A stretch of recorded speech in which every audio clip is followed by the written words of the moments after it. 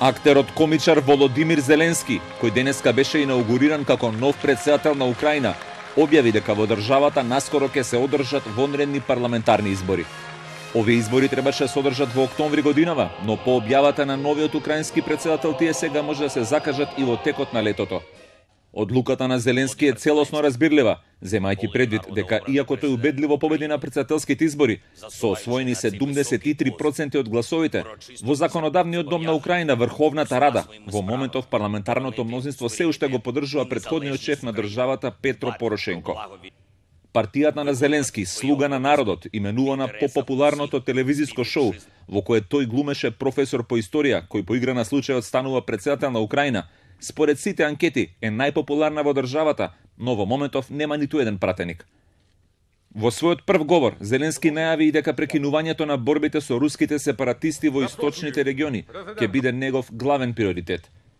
Точно е дека неа почнавме војната, но ние сме тие кои мора да ја завршиме, подлече Зеленски, додавајќи дека за постигнување на мирот тој е подготвен да изгуби популарноста и председателската функција. Во согласно со својата неортодоксна политичка платформа и настап, Зеленски не ја пропушти можноста да ја потенцира широката поддршка која во моментов ја ужива. Дорогі українці, після перемоги на виборах мій шестирічний син сказав: Пап, я по телевізору бачив, кажуть, що Зеленський президент. Виходить, що я теж президент. І тоді це прозвучало як жарт дитячий. Але згодом я зрозумів, що насправді це істина.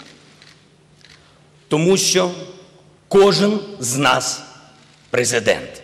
Прекинувајќи со традицијата, Зеленски на инаугурацијата не пристигна на вообичаен начин со поворка возила, туку пеш. Како вистинска рок звезда, им поздравуваше на присутните поддржувачи од двете страни на оградениот простор.